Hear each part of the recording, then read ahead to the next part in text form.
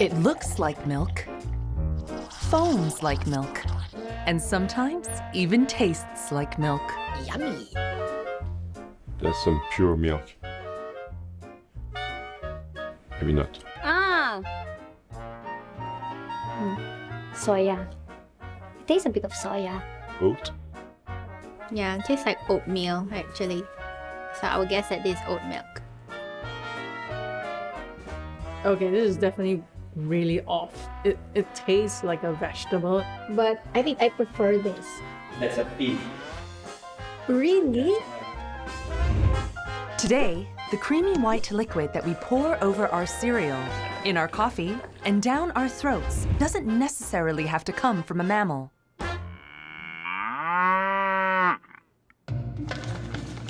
In fact, the notion of milking plants is not new. The earliest written mention of almond milk appeared in a Baghdadi cookbook from 1226. And the humble soybean, known as the cow of China, has been a main source of protein for the Chinese since the 11th century. But it would take a plucky Hong Konger to start a renaissance of interest in soy milk in the East.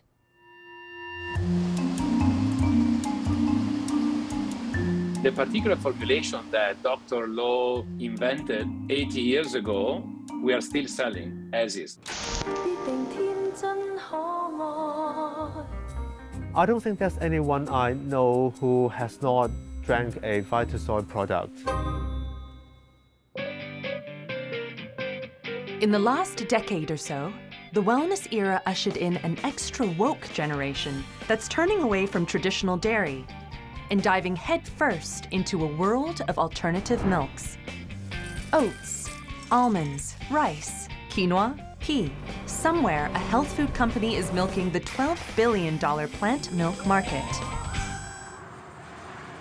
In Britain, one homegrown startup with a unique proposition has risen to the top of the alternative milk space. Nothing in our drinks and our foods that you don't find in your store cupboard. There's nothing you can't pronounce, nothing you can't spell. Plant-based is taking off everywhere and from our portfolio of about 20 drinks, there is a suitable portfolio and assortment for every single country. How did these food pioneers change the way we perceive and consume a drink that has been around for thousands of years?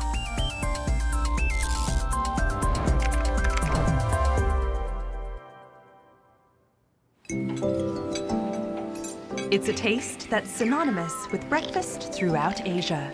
The creamy, beany, foamy goodness of soy milk.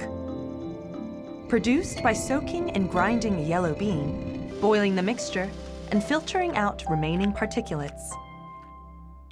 For centuries, the soybean has been cultivated and used for food by people in the Orient. Native to Manchuria, the soybean has been cultivated by the Chinese since about 3,000 years ago as a cheap source of protein that yielded much more by acreage than milk, eggs, or meat.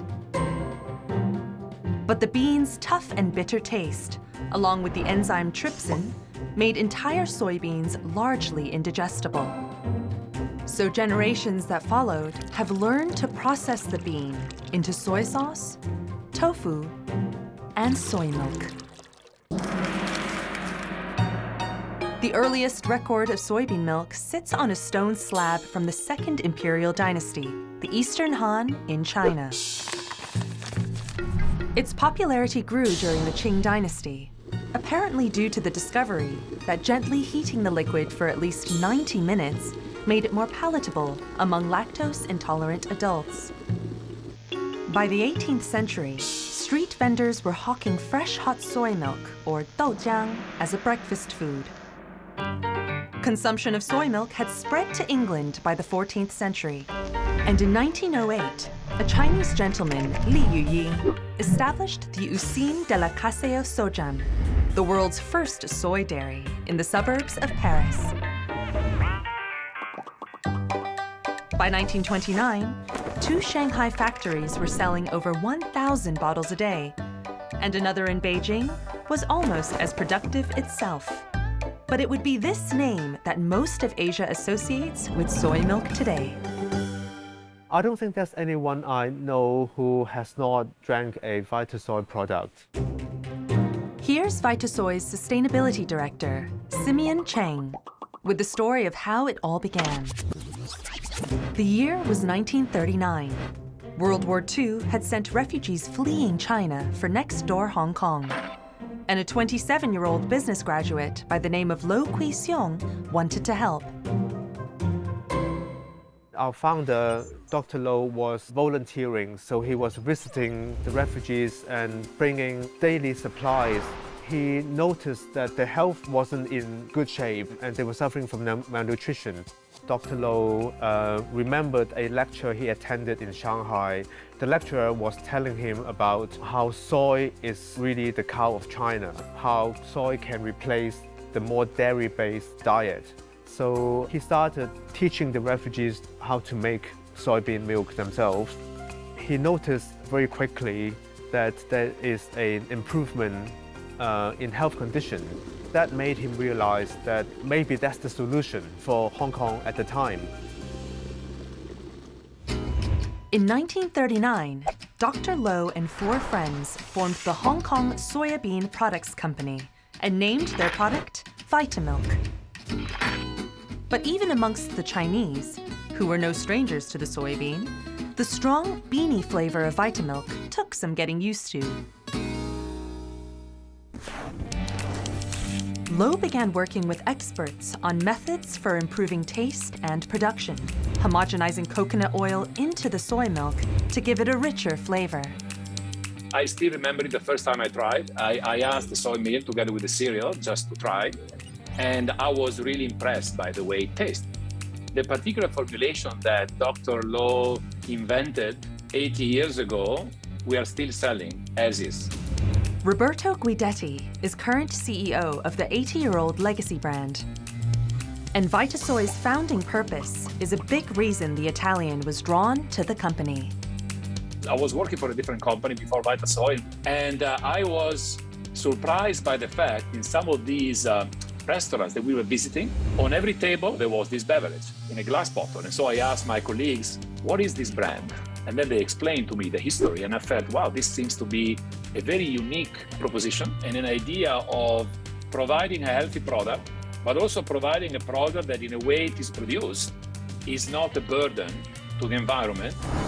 By mid 1941, Vitamilk sales had risen to 1,000 bottles a day.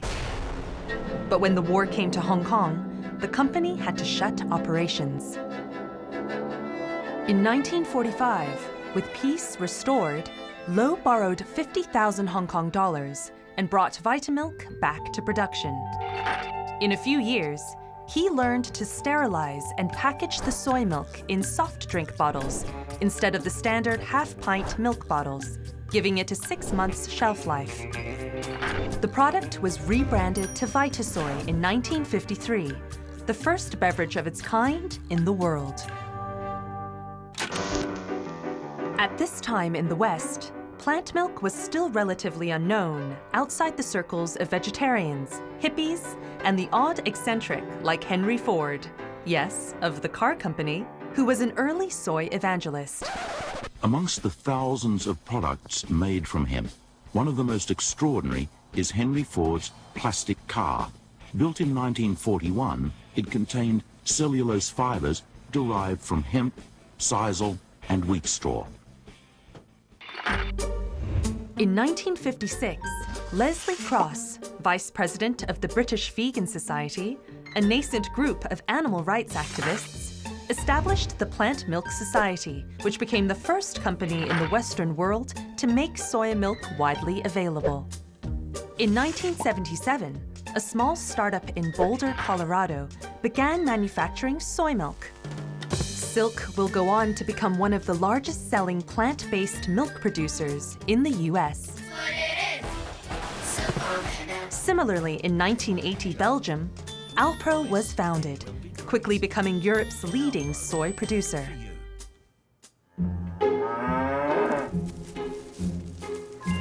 Due to pressure from the dairy industry, producers were not allowed to call their product soya milk, instead having to term it liquid food of plant origin, and later, soya plant milk. A string of court victories by rich products in Buffalo, New York between 1949 and 1974 finally established non-dairy milks and products as a new and distinct food, rather than inferior and illegal knockoffs. But the U.S. cattle milk industry has never stopped challenging its plant-based competitors' right to use the word milk. And EU law prevents dairy alternatives from using the word if it isn't produced by a lactating mammal. While soy milk was drunk by millions of people in Asia almost every day, over on the other side of the globe, it was a fringe product that sat on frosty health food aisles in Western supermarkets. That was until the dawn of the new millennium. In 2005, two South Londoners were thinking of getting into the health foods ring. But it was breakfast cereals, not milk, that was on their minds. I'm Camilla Barnard. Uh, I'm co-founder and brand director of Rude Health. I'm Nicholas Barnard, or Nick Barnard, and I'm co-founder with Camilla. Other than that, what are you to each other? We are married. We remain married after 16 years of rude health. Nick and Camilla, young parents at the time, were struggling to find the right foods to feed their kids. I mean, I've always loved food, and I think we were just really disappointed with what was available. And cereal packets sit on the table, so you read the ingredient. And I think in doing that, especially in a sort of slightly zombie exhaustion state, I actually read them and realized what low quality a lot of them a lot of them were. The couple decided that they were going to create a really great muesli with all natural, all organic ingredients, right there in their own kitchen. And at the time, most mueslis were seven, eight, nine ingredients. So when you go to 25, 26, you're really creating an explosion of flavor. But it was hard work. And we chopped and prepared that muesli in this kitchen at this table um, and started to hand selling it round the neighborhood.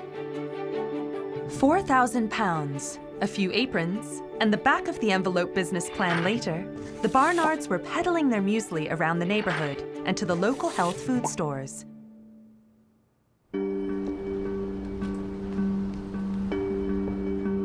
But their health food startup soon hit a major roadblock.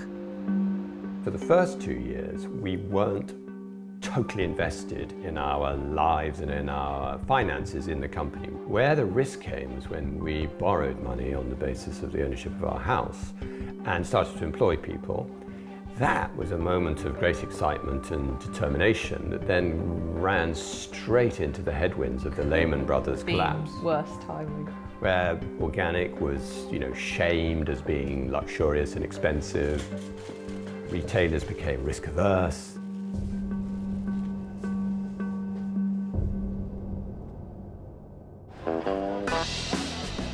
But by 2010, the economy did bounce back, and so did people's appetite for organic foods. And as they were doling out their cereals at sampling sessions, Nick and Camilla noticed another opportunity. I was finding that more people were asking for something other than milk, because we usually offer milk. Every tasting, there'd be somebody. And at the time, there were options that weren't milk, but they tended to taste pretty rubbish, quite gritty, the ingredients were awful. So that then coincided with a gentleman who was very powerful in the breakfast cereal industry came to visit us in the office and he, he made a throwaway remark. Rude Health is a great brand. You understand nuts, grains and seeds. You could do an, a drink. Ping, something went off inside a light bulb, which of course is ridiculous because we all knew we could do it, but this was the trigger.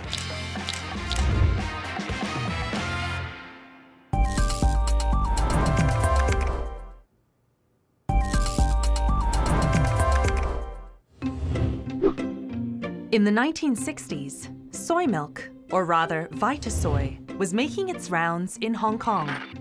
In 1968, Time magazine ran an article calling it the new soft drink craze of the British Crown colony. But remaining on the island was never in the plans for founder K.S. Lo. And the idea to start the company was start the company in Hong Kong, but the vision had always been to do this in the context of Hong Kong and beyond Hong Kong, for China and beyond. In the mid 70s, two innovations allowed Vitasoy products to make their leap overseas. The first was Tetra Brik packaging, constructed of seven layers of paper and plastic coated material, making them much lighter than glass. And the second was UHT, ultra high temperature technology, heating the soy milk above 135 degrees Celsius for a few seconds to kill many bacterial endospores and turning it into long shelf life product. I think Vitas are actually the first company in, in, definitely in Hong Kong, if not that part of the world, to bring in uh, and partner with Tetra Pak. But giving the product that sort of six, nine, 12 month shelf life obviously started to open up a number of doors where it was possible to, to start to freight the, the products around the world.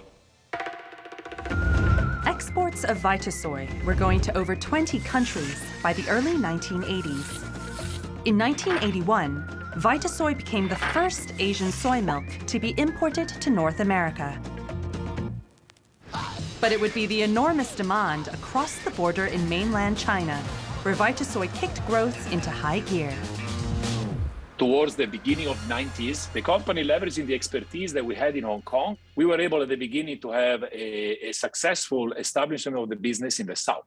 But when you go into central China and you go into eastern China, we had to develop a different model. And in the case of uh, Wuhan, we developed a model that started from the eating and drinking, restaurants, on premise business, offering basically our product together with food. The case of Shanghai, the big trigger for the expansion was our starting our tea business.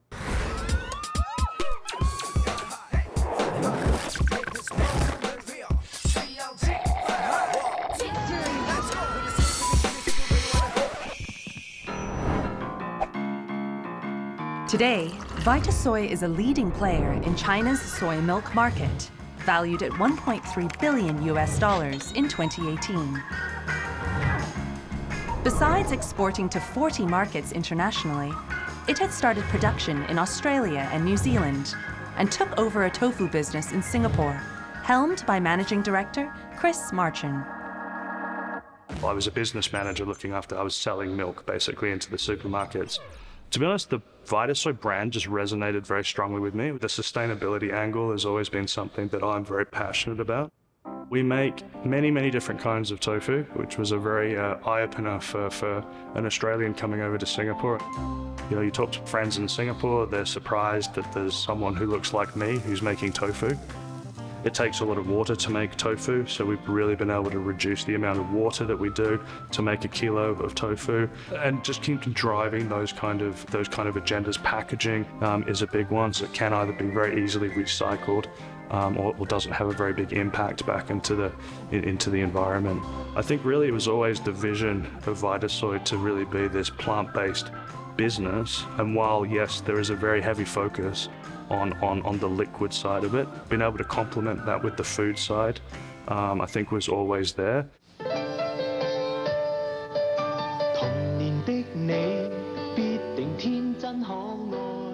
Despite its international success, Vitasoy was still only dabbling in the world of soy until CEO Roberto Guidetti saw an opportunity. Over the last couple of decades, the attention to health and attention to well-being has definitely increased all over the world. It was 20, 2013. So we had to basically, as a company, decide, is this something that is meaningful to us? Should we open and uh, have develop a plant-based portfolio as opposed to continue to grow soy? And we made the decision to then do that and that's because of that decision that uh, happened in 2013 that now as a result, we not only have almond in our portfolio, but we have rice, we have oat, we have coconut, and these are options which are sold with different formulations across different markets. That same year, a pair of South Londoners with a cereal and snack company called Rude Health were also on the cusp of launching a line of non-dairy milks. But just like everything else the Barnards wanted to make, finding the right ingredients, as well as the people who were willing to make non-dairy milk the way they wanted it, proved to be a challenge. There's nothing in our drinks and our foods that you don't find in your store cupboard. There's nothing you can't pronounce, nothing you can't spell. We um, work with, as I say, predominantly family owned and family startup businesses that uh, are good at sourcing with us. But what we do is we push them in the right direction. So we say, okay, you're going to have hazelnuts. We want hazelnuts from Piedmont to the Tonda Gentile hazelnuts. The best hazelnuts in the world. What happens is we end up, we might talk to 10 different producers, but because we keep, we want this ingredient from that particular place, we always end up with one producer who can who can give us the Who can ingredients we us. want and do the methods we want, and yeah, and, and put is, up is okay with the ridiculous requirements. There's a fine line To- between coercion and inspiration. Inspiring, is co- coercion inspiring individuals to, to make the right decision. In 2013, when Rude Health launched three flavors of plant milks oat, brown rice, and, almost as an afterthought, almond, they happened to get the timing right. Buoyed by a trend of fit young Instagrammers sharing health foods all over social media, Rude Health's almond drink became the company's best selling item in any category. we got in there at exactly the right time. We were probably the first brand in the UK that that was a lifestyle dairy-free drinks brand rather than a needs state dairy-free drinks brand. In the plant milk category, publicity is everything. Look no further than a little oat milk brand known as Oatly. Crafted in the 1990s by Swedish food scientist Rickard Oste, Oatly went from a little known Swedish brand to the world's largest selling oat milk producer with the help of some attention grabbing ad campaigns. Having spent years making great food in dour packaging, the Rude Health team realized that their communications needed some changing up. Dairy alternative drinks is a really relatively new category, and a lot of shoppers come into it completely blind, so not really knowing what they're looking for, either from a brand or also in terms of flavour or functionality. So these were our first uh, dairy-free drinks that we launched with, brown rice, almond and oat drink. So we very quickly definitely wanted to elevate the packaging so that it's brighter, bolder, and we really bring out colour. The colour is totally different. It pops, it's vibrant. Because our packs are so bright, we stand out in a sea of sameness. Then there's also messaging on pack, but it's also really important that they know that our almond drink is made with only natural ingredients. Or if they pick up our oat drink, it's really important that they know that our oat drink is actually gluten-free, which a lot of oat drinks aren't. So here we are uh, again this year at the Rude Health World Bog Snorkeling Championship. We put a huge emphasis on experiential and event marketing, so we think it's really important to actually get out face to face with the people who buy our brand or who could buy our brand and get our drinks into their hands. But like dairy, the plant based movement isn't without its own controversies, which these pioneers will soon find out.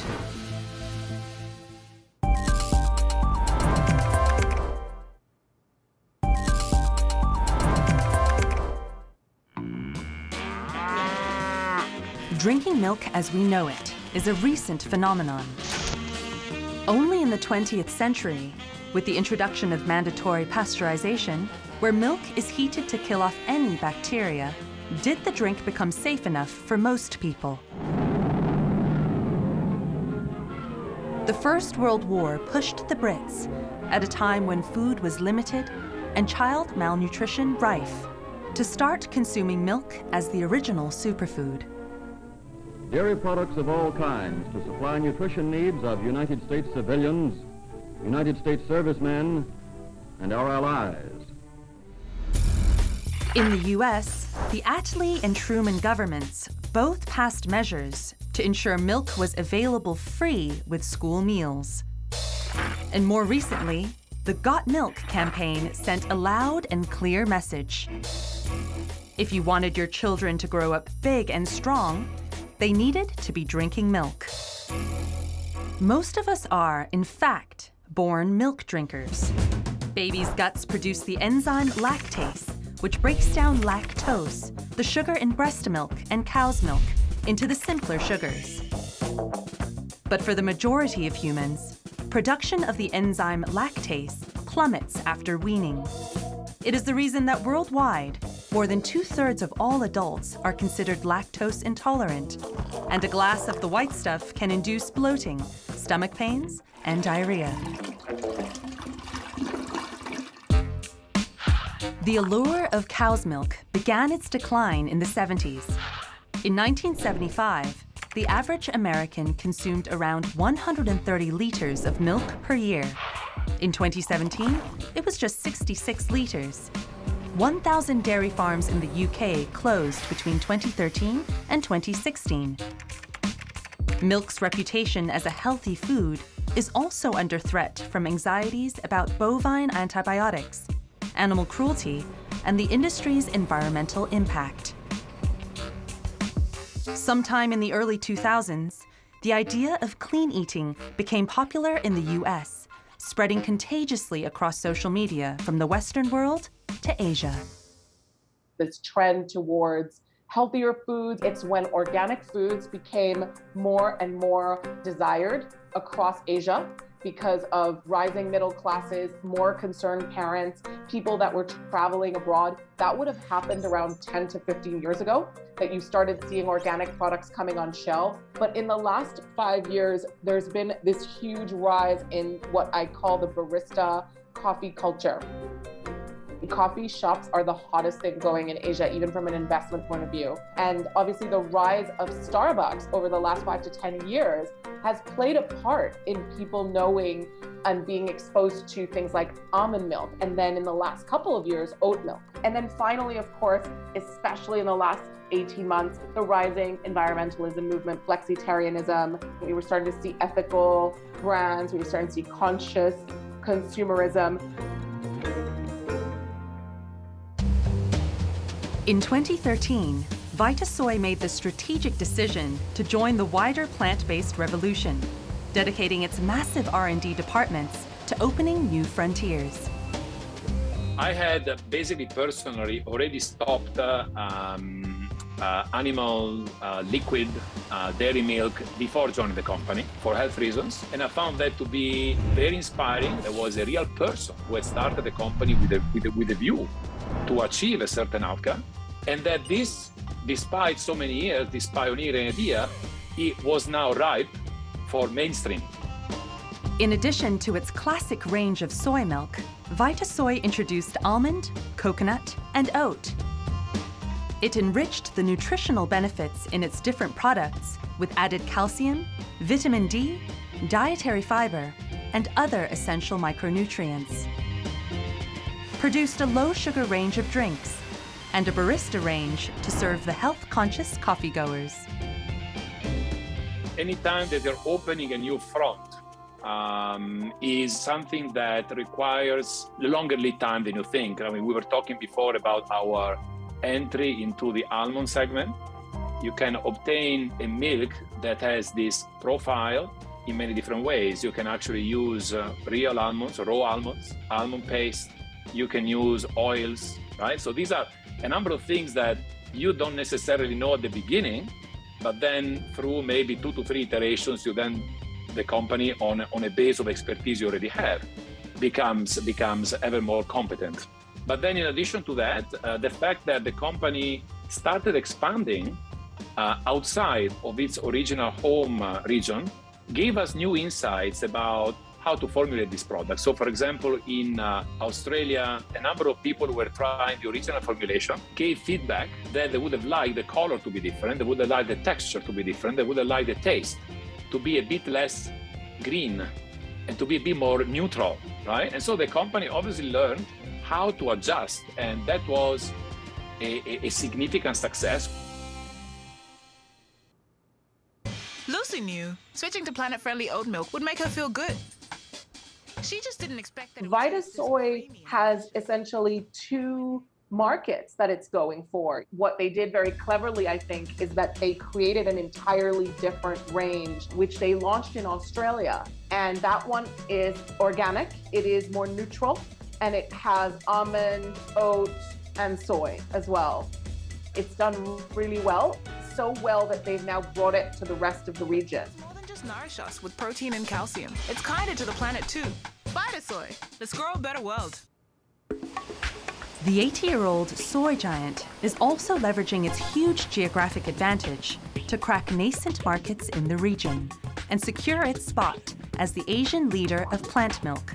We have found often that the conversation about this particular movement tends to be a bit Western centric. For some of us, or most of us who are part of this, we feel that Asia is actually an incredibly important point to be made because if we're looking at population trends, and if you're looking at where the solutions are actually going to be needed the most, is Asia. 2016, a decade after the Barnards made their first foray into healthy foods. Rude Health is now sitting on a line of alternative milks, everything from pea to tiger nut. Now, in terms of how crowded the market is, I would say that it's getting harder and harder. I would say that there is the biggest strongholds dominate. Almond Breeze and silk is around 50% of the market in North America. So they have a loyal consumer base, some of them, and it is difficult to compete with them. So we can see that there are a lot of like smaller brands or nimble or gaining brands. We see players like, for example, Oatly, which has built this very strong brand personality around the environment. You know, what we should all be swapping to uh, to contribute to the environment in a positive way. Rude Health is one of those players that um, has positioned itself very well into the health and wellness space, not only because it's organic, and uh, organic obviously is that added sustainability um, angle as well to the product. That year, Rude Health opened its first cafe, which served as a creative space to showcase their products. I think one day um, the office was too big for the amount of staff that worked for Rude Health, so um, someone had the idea, let's open a cafe, and then two weeks later, a wall was built.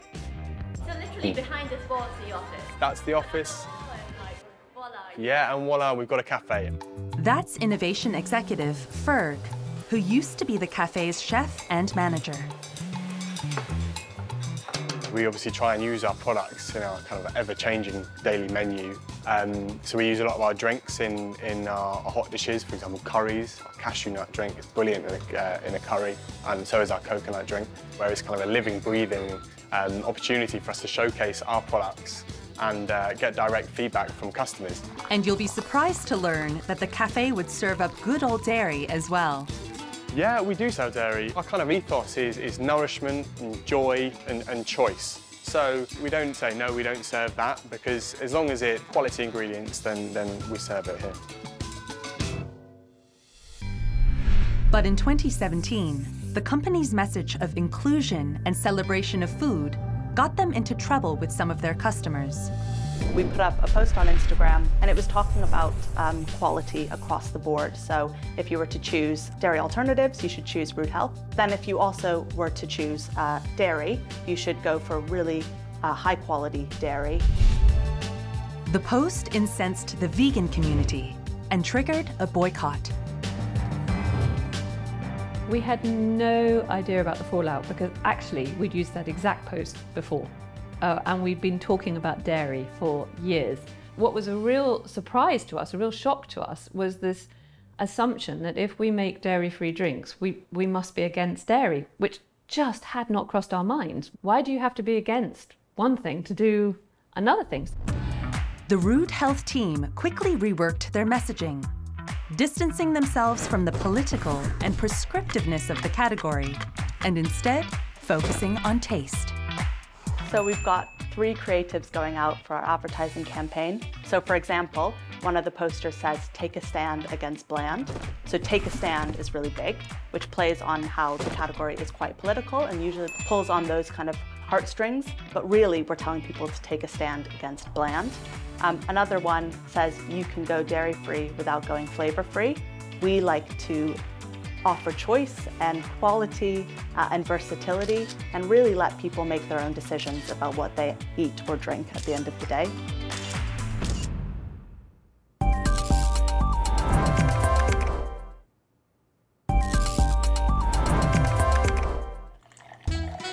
In case you haven't heard, there's a worldwide craze for non-dairy milk.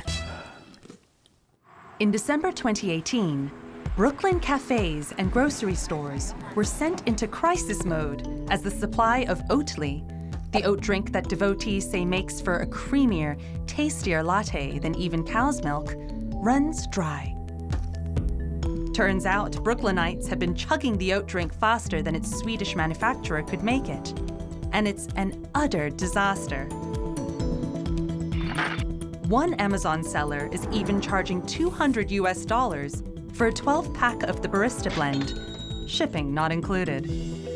Today, even high street coffee shops like Starbucks has soy, coconut, almond, and oat milk at the ready for your morning coffee. Alternative milk is a market expected to be worth 21.5 billion US dollars in 2024.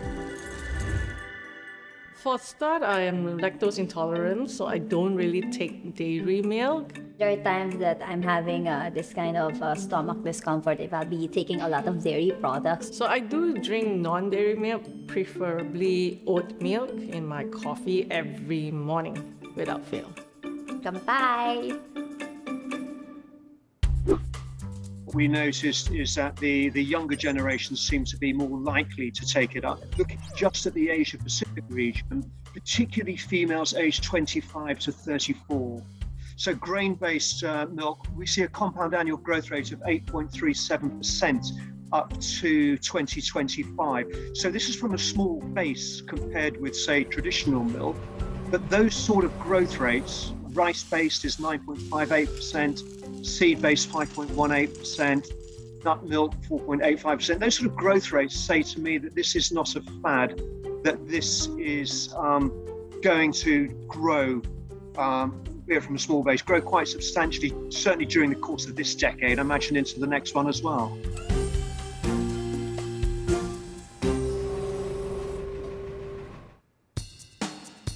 With studies showing that vegetarianism and veganism as the single most effective way to reduce one's own environmental footprint, the meteoric rise of Milk with a Y was partly down to its reputation for being friendly on the planet. But around 2015, plant milk, specifically almond, was embroiled in an environmental scandal when a Mother Jones article pointed out that it takes 23 gallons of water to produce a single gallon of almond milk. While this is still lower than 30 gallons of water for cow's milk, the fact that 80% of the world's almonds are produced in drought ravaged California still came as a shock to the public. This time, London based alternative milk startup Rude Health managed to sidestep any criticism thanks to a far sighted business decision made early on. Interesting thing with the almonds, part of the reason it was a really great sort of proposition, product for us, was because the almonds were sourced in Sicily, which is somewhere that's grown almonds for thousands of years. Um, they've got a particular type of almond that has a really intense flavour, um, and it, the farming system there it works perfectly. It's a completely sustainable crop. They, they have enough rain, um, so it's not reducing the water table.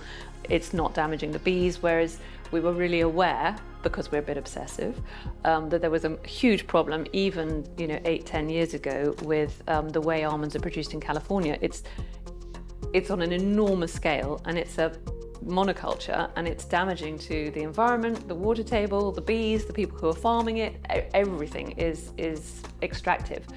So for us, it was, it was a huge win to be able to do, I mean, find an almond drink that we were happy with the sourcing of as well as the, the flavour of. It made it was more expensive, but it's still, it's bestseller, so it still worked. People were prepared to pay.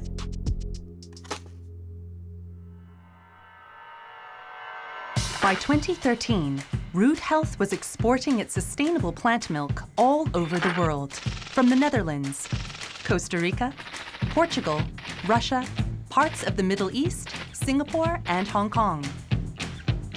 Heading its global expansion is Caroline Oudenaarde. Plant-based is taking off everywhere. There is not a single market where this is not a growing trend.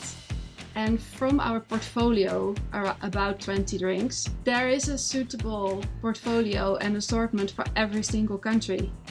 Plus that we do a lot of inspirational recipe videos to explain consumers how they can use our drinks, for example We created a e-magazine with recipes from all over the world and that goes from sushi rolls to waffles to spring rolls from Vietnam to dumplings from China. Britain's number one organic plant milk brand is also setting its sights on the massive consumer market of China. 卢的健康食本有限公司 so uh, this is our Chinese name. Because of the changing customer behavior in China, they cannot travel during the pandemic and they are more health cautious. And so that's why they want more premium brand, Western brand, to be selling in uh, Alibaba. A year after being approached by Alibaba, Rude Health began trading on its subsidiary platform, Tmall Global at the start of 2021, leveraging China's massive e-commerce marketplace to bypass food import regulations and paperwork. 这个是 Rudy Health，这是英国很有名的有机植物奶啊。它在二零零五年，然后去 In March 2021, Rude Health began its own live streaming events. A platform on which 30% of China's population watch influencers push various products and they will even try the product in front of the camera and tell about their feelings and also they would uh, suggest uh, some uh, usage occasion as well. Chinese consumer, you can think of they are very open-minded and adventurous. They try any new things. They're happy with all the new devices or new method of uh, communication.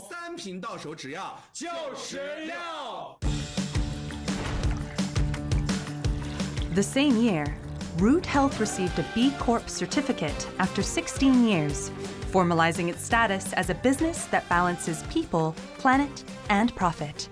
This is not about this is the right grain or the right nut. It's about you have this rainbow, this this this uh, whole a group of different uh, drinks that we make that allow you to express yourself and your meal occasion or your drink occasion accordingly. With environmental concerns at the center of today's plant milk revolution, international plant milk company Vitasoy has looked hard at going green in the last decade.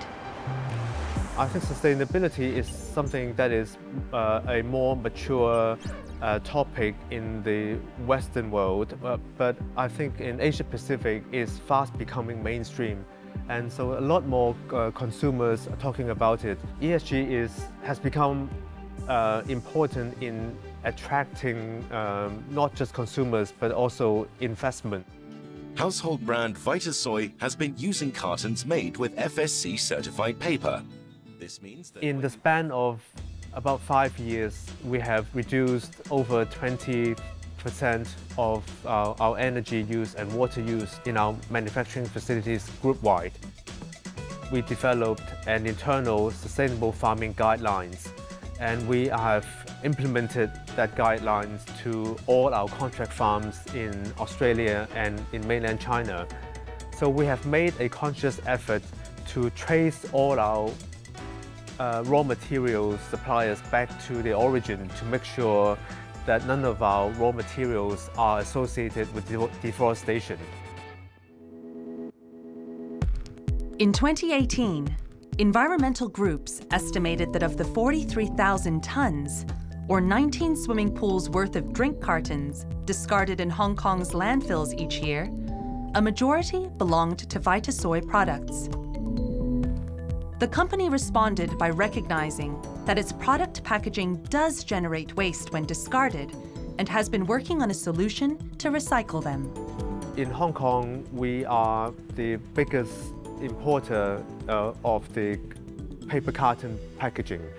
So we feel a high responsibility in dealing with this issue.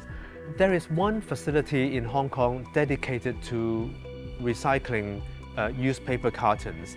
So this facility has only come to become available in recent years. uh, in the past year or two, we have rolled out a project in both education and a program to help to collect more of these cartons back for recycling. So we started going to schools and explain to them uh, the importance of recycling and how uh, the paper cartons can be collected for recycling. And then we also expanded that program to other places like uh, residential complexes, uh, shopping malls, uh, supermarkets, um, even some petrol stations now have those recycling bins. Vitasoy, let's grow a better world.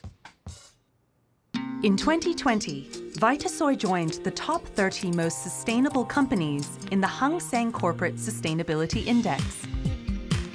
Even as 2020 proves to be a challenging year for all businesses, Vitasoy managed to complete expansion projects in mainland China and Hong Kong, sustain revenue growth in Australia and New Zealand, and expand its operations in Southeast Asia. Uh, and I think we're in a very nice place because of the history that we've had, the family values and the purpose that have come forward. I think it's respecting where you've come from, um, respecting the, the, the, years and years and years that have gone into developing these products. Um, you want to make sure that you stay true to that while being able to evolve, modernize, and continue to look forward as well. The jury is still out on whether plant milk's popularity is a fad. But if an 80 year old soy milk brand and Britain's leading health food company tell us anything about innovation, it's that it never gets old.